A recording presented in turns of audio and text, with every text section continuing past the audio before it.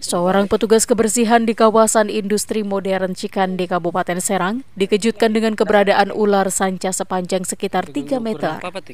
Ular ditemukan saat petugas membersihkan aliran parit. Sejumlah petugas kebersihan langsung menangkap ular tersebut. Penangkapan sempat terkendala karena ular melawan. Penemuan ular di sekitar kawasan industri modern Cikande ini bukanlah yang pertama kali. Namun ukuran ular yang ditemukan kali ini cukup besar ular sanca. Ular sanca. Berapa, meter kurang sekitar tiga setengah lah. Empat meter, meter. itu di ditemukan di mana sampah untuk sementara ular sanca tersebut diamankan di pos kebersihan kawasan modern dan akan diserahkan ke petugas yang berwenang agar bisa kembali dilepas ke habitatnya.